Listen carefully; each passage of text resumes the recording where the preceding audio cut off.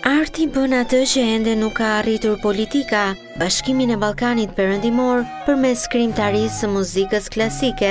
12 kompozitorë nga 6 shtete i bashkohen projektit Synergy për të kompozuar në vendet fqinje, ku do të qëndrojnë si rezident për dy javë.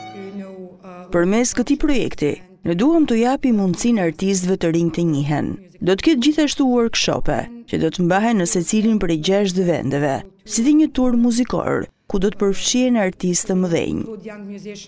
Janë mbi 50 muzikantë dhe menaxherë kulturorë që do të bëhen bashkë në gjashtë festivale të muzikës. Misioni në Shqipëri e merr përsipër festivali ndërkombëtar Vox Baroque, ndërsa dy artistët e përzjedhur janë Jetmir Zaganjori dhe Kris Sopiqoti.